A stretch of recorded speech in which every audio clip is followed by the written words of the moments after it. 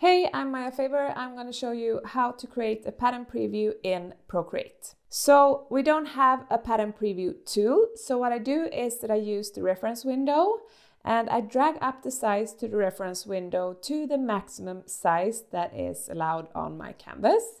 And then I try to align the edges of the canvas in the reference window to the edges of the canvas on my canvas so that when I create my patterns, I will see how the pattern is repeated to the left pattern block.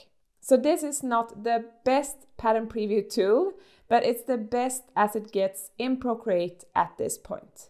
So as you can see, when I create this pattern, I will see how my pattern is repeated to the left block of the pattern. This will make it much easier for me to create a well-balanced and professional pattern in Procreate. So I also want to show you the best way to test your pattern and see that it's balanced and that it tiles up correctly.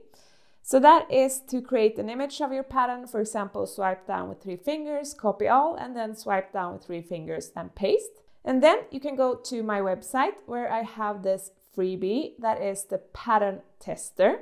And here we can Tap and drag in our image from Procreate to the repeat pattern tester and try out your patterns in different scales. This is a completely free tool and you will find it on my website majafaber.com slash pattern tester.